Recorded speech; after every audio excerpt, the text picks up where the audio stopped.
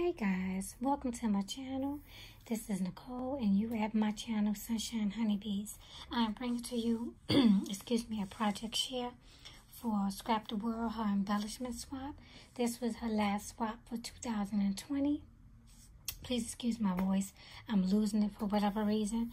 But this is what um, my project share is. We had to make two embellishments and two bag toppers and then you had to make two bags or um, create some type of bag to go with the toppers.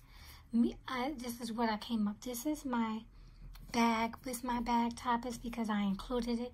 I used some Celebrate bags from Michaels. I used a cute sunburst uh, circle. With the inner circle, I added some cute ribbon with a uh, green butterfly metallic butterfly and some bling and my topper here is a bag topper from AliExpress and I did use some Velcro to put on the top and then you can open the bags and put your embellishments or whatever you want to put in them. That is my bag number one. My bag number two looks like this. I use some pattern paper that is throughout my uh, my whole embellishment. I added a butterfly with some bling and some words. This one said good things come in small packages.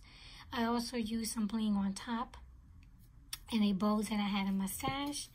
And I did not put the Velcro here, but again, you can open up the bag and put your embellishments in there. So these are the two bags with bag toppers.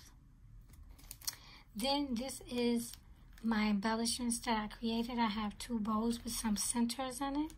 I also made a um, embellishment here that has some flowers with the word thankful and another big gem here.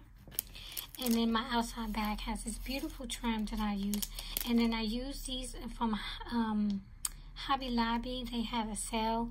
And, um, oh, sorry. And I have the word thank you that I cut out. And on the back, I created two back toppers. One that has thank you on it. The other one that just put some leaves and some flowers on it.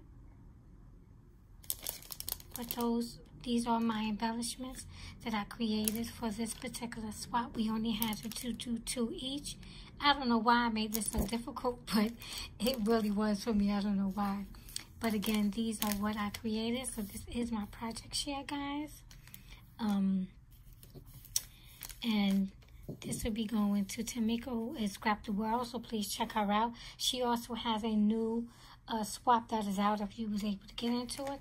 But this is how my group will be getting there. They're going to get this plastic uh, book uh, binder here. And everything will go in there. And it will have the information in group two and who does this go to. And so, guys, thank you for watching my project share. And um, please check out me again when I get my return projects. And you can also go and check out Scrapdaworld. Thank you so much for your time, guys. And again, I will probably link some pictures to this. But this is my project share. Thank you.